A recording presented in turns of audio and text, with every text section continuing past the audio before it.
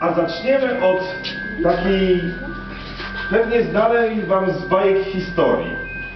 Dawno, dawno temu był sobie Alladyn, który idąc przez pustynię znalazł piękną lampę. Nie wiedział zbytnio, jak ta lampa działa, aż pewnego dnia zaczął tą lampę masować, ogrzewać, głaskać, pocierać i z tej lampy wydobył się dżin, który spełniał życzenia.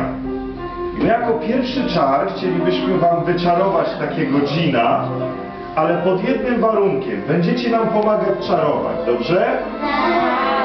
W momencie, kiedy powiem 3-4, rzucamy zaklęcie jakie? Abracadabra. No więc jesteście gotowi?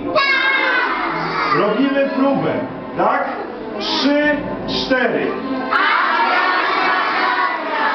Okej, no to jesteście gotowi. To w takim razie ja użyję swojej magicznej różdżki i czarujemy Gina. 3, 4.